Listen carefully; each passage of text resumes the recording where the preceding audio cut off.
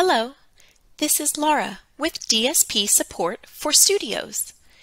In this video, we will be going over how to add an ACH payment method in your parent portal. We know the security of your data is a top priority for you. Our software diligently stays on top of cybersecurity trends and threats, so you don't have to. When it comes to payment processing, the stakes are exceptionally high. The tools that cybercriminals use are ever changing, and we work hard to eliminate those threats. Our goal is to keep you safe from theft and fraud. Therefore, to increase your cybersecurity, we have enhanced the enrollment process regarding ACH payments. To protect you and meet the compliance guidelines of NACHA, the ACH Oversight Association, your account details will now be verified before you can make an online payment or enroll in AutoPay using ACH. You will see the option to pay using a bank account in your parent portal once you have agreed to the terms by checking this box here. There are two options for verification. The first one we will go over is verification using Plaid.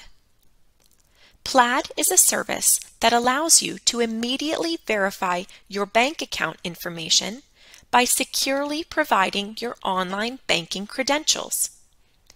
This means that when you verify with Plaid, you can immediately make a payment online. To use this method, start by clicking the Verify Now Login button and click Continue. Here, search for your bank and then securely log in using your online login credentials. This is the same credentials that you log in to view your bank account online with. Once you are logged in, you can select the account you would like to use for your online payments and click Continue.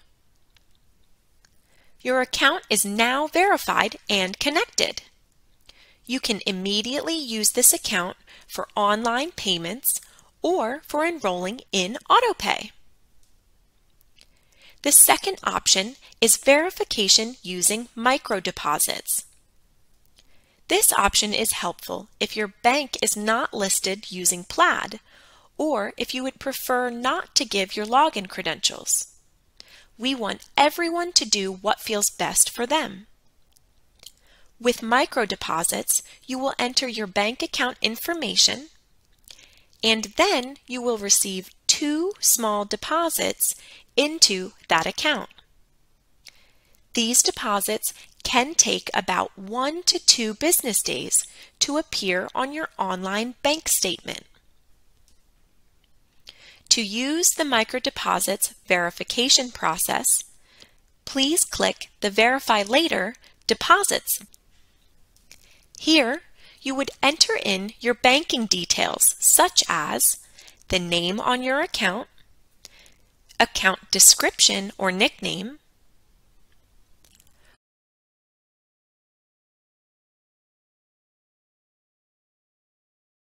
routing number, your account number,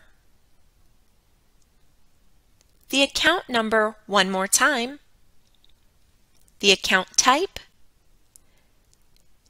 and then click Save. Your account is now pending. It cannot be used for a payment until it is verified by entering the amounts of the deposits you will receive.